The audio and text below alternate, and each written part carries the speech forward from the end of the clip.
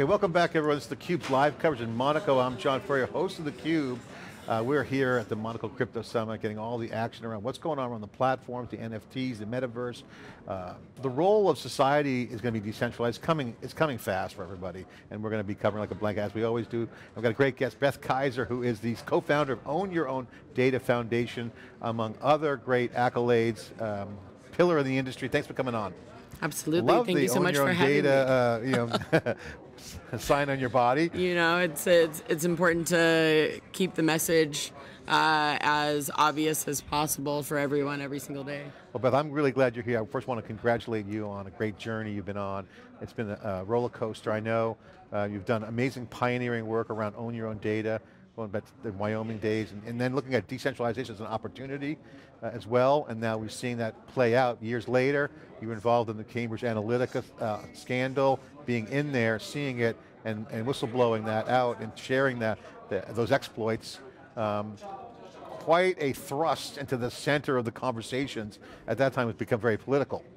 So you had, you're driving positive change over here, and then you get caught over here, and you're driving change over there. What's it been like? I mean, it's been an incredible journey uh, over the past four and a half years since, um, I, I, suppose, going full time into blockchain around 2017, but really, uh, you know, moving to the state of Wyoming uh, in January 2018 to begin what has been the most successful legislative initiative ever in the United States, as well as the most successful legislative initiative for uh, distributed ledger technology in the digital asset industry. Uh, from there, I, I really feel like it's been quite an incredible journey. Uh, it's always uh, a roller coaster in different industries, and especially when you become yeah. a whistleblower. But I think what has been really the truth is trying to explain to people how data protection how transparency and tracking and traceability that we don't get from legacy technology is actually enabled by crypto, enabled by a new form of cryptography that is decentralized and immutable. And, and that really has been such an incredible transition that I think legislators and regulators around the world are finally starting to understand. Yeah, yeah and, I, and again, I just can't just over amplify the work that you're doing and how important it is because one of the big societal changes right now is culture. Mm -hmm. And the culture clash of how laws are made, how business is done, are all collapsing and they're changing. And so the generation of leaders that we need in the, around the world got to step up because the people there now aren't that tech savvy. They're lawyers. So there's nuances around privacy and data protection and governance by jurisdiction, by applications, by your presence. I mean, it's, it can be complicated for someone who's like in power.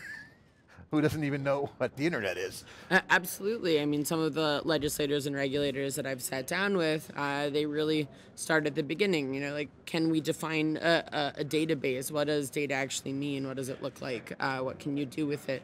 Before I can get to advanced predictive algorithms and quantum resistant encryption. So uh, obviously, sometimes the understanding is, uh, you know, at a 10,000 foot level. But if you can explain to people, yeah how these technologies will help improve their lives and improve the lives of their constituents.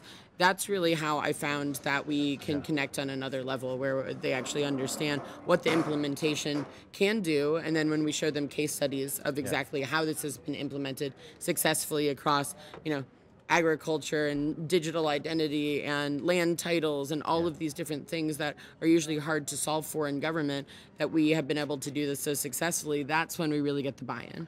You know before i flew into monaco on tuesday i was in boston covering the amazon web services re:Inforce which is their security conference. Now aws is very popular. Everyone knows what they are in cloud computing. But the security teams in the, around the world have a different ethos, and you can see that. I want to get, get your reaction to this comment, because what I noticed and observed, you mentioned crypto resistance, it's pretty well known that quantum is going to powerful capability, I'm sorry, quantum resistance. Cryptography can be hacked, so there's all movements afoot around shared responsibility, um, and this quantum resistance and encryption. And people are generally afraid of it because of the keys, and that's what I walked with the general public. But now you see the security professionals coming together and they're all kind of saying it out loud most of the time, but not saying it out loud enough, that the future is really going to be decentralized, okay? How, how far are we along in the mainstream, in your opinion, of the tipping point where everyone gets it? Are we like way miles away? Are we close? It feels like we're getting closer, but like not close enough. And like I get kind of frustrated. But like, what's your reaction to that? Uh, I would say uh, it, it really depends which part of the world you're in. But if you're just going to look at an average, I would say we're getting to at least like 10 to 20 percent of people who can really understand how these technologies work and are actually starting to use them now. Those numbers are not bad given how young these technologies are and how young the industry is in general. And so I think we're going to see a really steep uh, climb of how many people are getting involved over the next couple years because it was only during the coronavirus shutdown when everyone started to lead a fully digital life where they realized, well, if I can't go into my bank or if I can't do this in person, then what am I supposed to do? And they started to think about, okay, well, some technologies are actually not even that convenient and some industries are not even very digital and so the only way to actually live life in a more successful way is to have a comprehensive digital uh, strategy that yeah. brings in decentralization yeah. uh, to make sure that things can still function even when we're in crisis and you know it's not just the coronavirus pandemic it's also been shown in the recent yeah. uh, war with ukraine where all of a sudden nearly everyone in the country is using cryptocurrency because it's uh, the banks don't work in a situation like this. Uh, you mentioned Ukraine. Is a quick quick plug for the work you're doing there, real quick. I know you've done some things there. Can you share what you're working on? Because there's a lot of people leaving Ukraine looking for jobs, so folks out there, hire Ukraine engineers. I've been promoting this in Silicon Valley. If you got openings, people look with their families have nothing. Uh, so they're looking for jobs. I know you've done some work there. Can you share a quick plug? Of course. Uh, so there's two main projects uh, that I've been working on in Ukraine since uh, the start of the war. One was to help launch Aid for Ukraine, which uh, has been the largest humanitarian aid fund in Ukraine. It's all in cryptocurrencies, and that was really because in the beginning of the war, we knew a lot of governments were going to hesitate to put money yeah. in Ukraine because they didn't want to escalate tensions with Russia.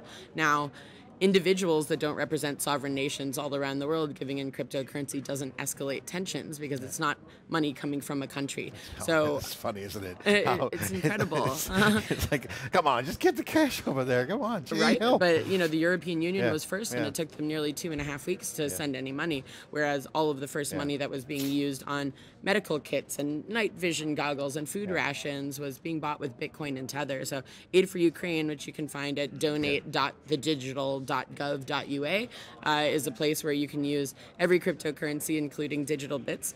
Um, well, it's 16 official cryptocurrencies right now, with yeah. more being added in order to donate. And the second big project is called heritagehub.org.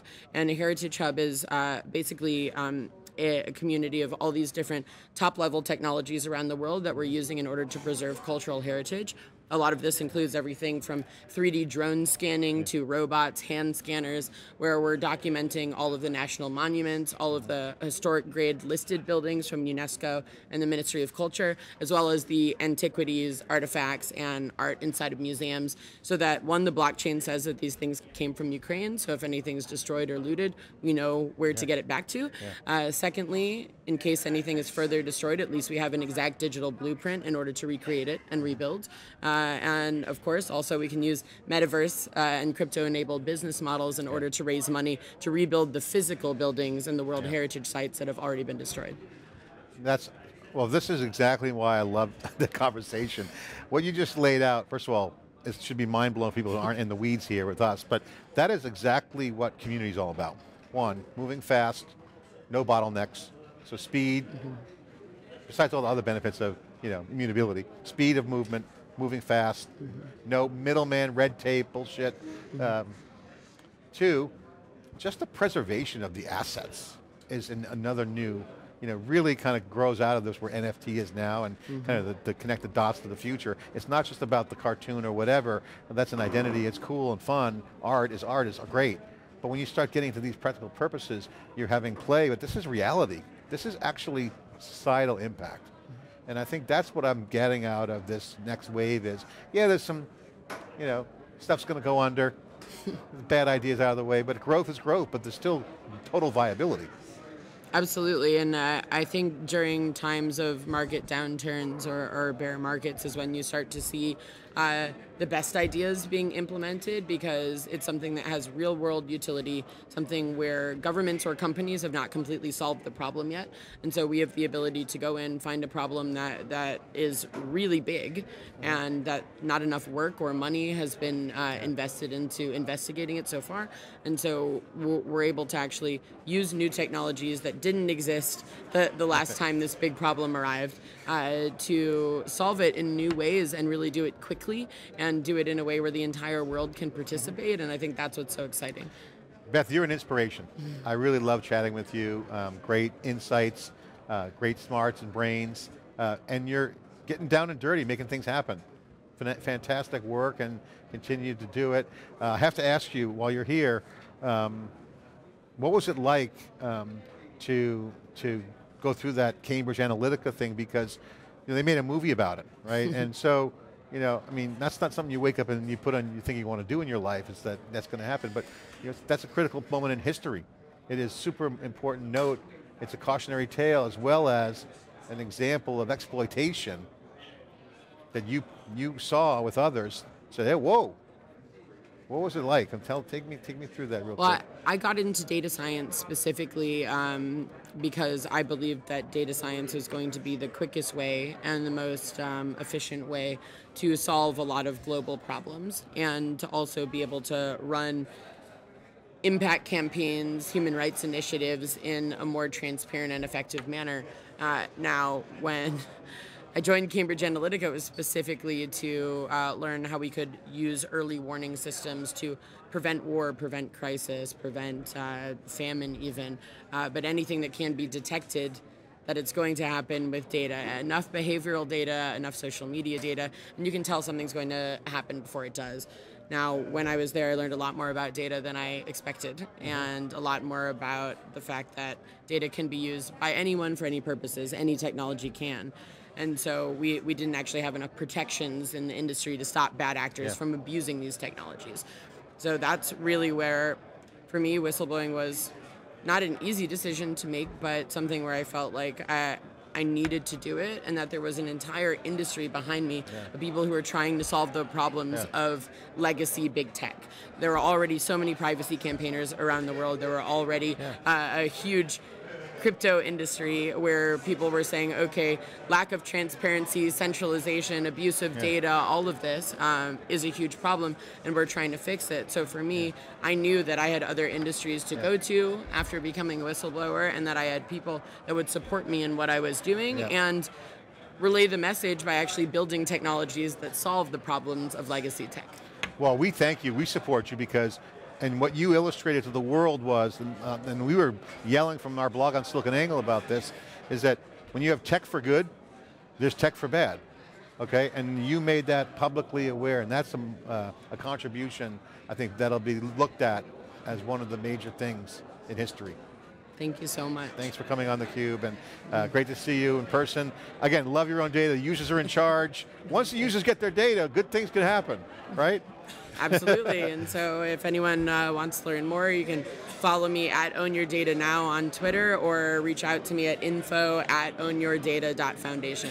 Where are you going to be next? Give a plug on your schedule. Do you have any insight into what you're going to, people can rendezvous with you? And, yeah, uh, I mean, if anyone's in Colorado, I'm heading to Future Shape 360 next, uh, then a United Nations conference in New York then Burning Man, uh, and then uh, United Nations General Assembly Week. Uh, we'll be doing a lot of work for the Ukraine projects when everyone around the world descends upon New York. So All definitely right. see me there.